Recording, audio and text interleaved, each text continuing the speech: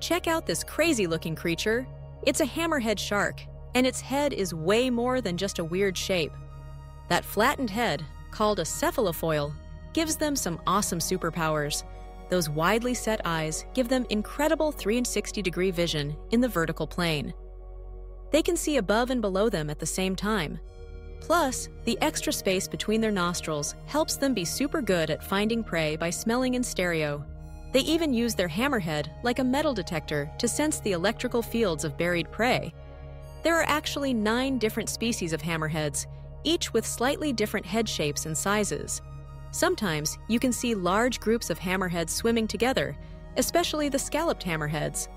Despite their unique look, they are actually quite graceful and powerful swimmers.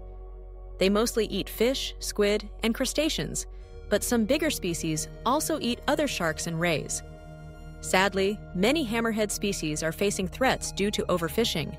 Protecting our oceans is crucial for these incredible and important predators to survive. What do you think of these amazing sharks? Let us know in the comments. Like and follow for more awesome ocean facts.